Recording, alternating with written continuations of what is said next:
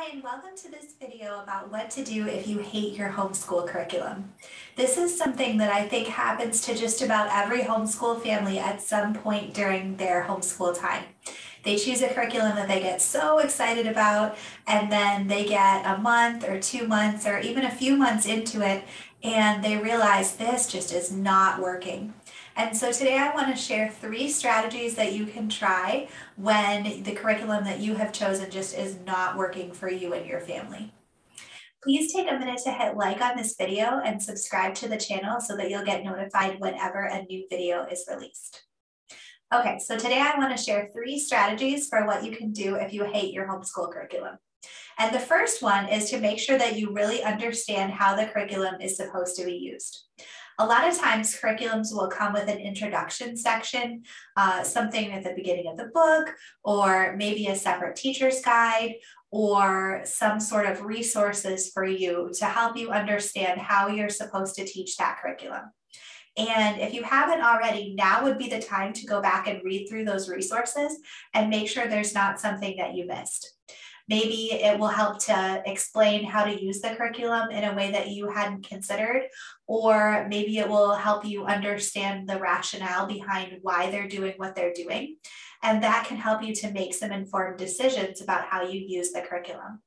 You also might look for support groups on social media. Many larger curriculums have them that people who are using the curriculum can go to and ask questions. And sometimes it can be helpful to either just read the posts and see what other people are doing and how other people are using the curriculum, or even to make a post of your own and just say, hey, I'm struggling with this. Can somebody help? And a lot of times there's just some great wealth of information in the homeschool community to be able to help you to understand the resource that you have.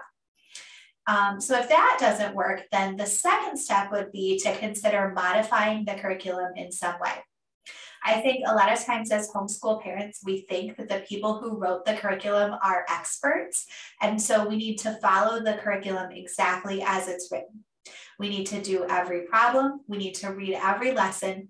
We need to do every activity exactly as they're written and in exactly the order that they're written.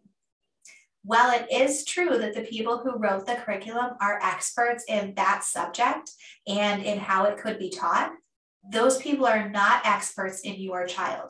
You are the expert in your child, and you know your child and how your child learns better than the people who wrote the curriculum do.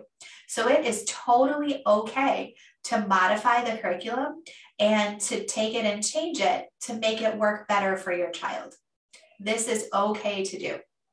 There are a couple of different ways that you can modify the curriculum. If your child is really understanding and picking up on the stuff quickly and is getting bored, then one thing that you could do would be to consider skipping sections. Maybe if it's a math book that has 20 review problems, you might do just the even numbered ones. Or maybe you might take your science curriculum and do the reading sections, but only do a few of the experiments and skip some of them.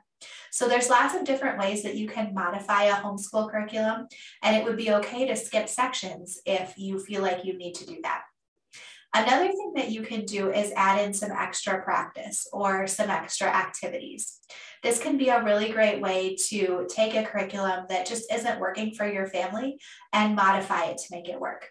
So maybe if the curriculum seems boring to your child, you could read through the lessons and then find extra activities to apply the lessons and to help your child understand.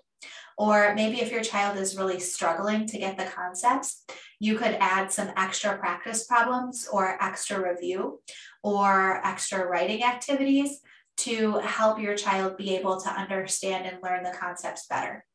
So you're using the curriculum still sort of as the baseline, but then you're either expanding or taking something away, modifying it in somehow to make it a little bit more appropriate for your child.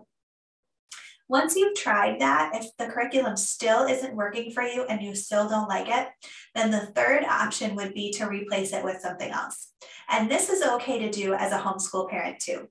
The truth is that sometimes it's just really hard to tell when you're purchasing a curriculum how it's exactly going to work for your family and what it's going to be like to be teaching it. This is a skill that you will get better with over time as you pick out more and more different curriculum options for your kids and as you get to know your kids better as learners. But it's still something that has a little bit of a margin for error, no matter how many years you've been homeschooling. So it is okay to just give up on the curriculum and replace it with something else. That's not really a sign of defeat. It doesn't mean that you failed as a homeschool parent or as a teacher. It just means that you've learned something about how your child learns. And now that you have learned that, you're going to make a different choice. And that is totally acceptable to do. It's okay to switch curriculums, even in mid year. Um, it's okay to switch. So just make sure that you have your child take a placement test for the new curriculum to make sure that you know what they know and what they don't know, and you can incorporate that into where they start in the new curriculum to be able to find the perfect level for them. So hopefully that helps for some ideas and some things to think about if you just hate your homeschool curriculum. Please feel free to share in the comments what you've done when you found a homeschool curriculum that you don't love.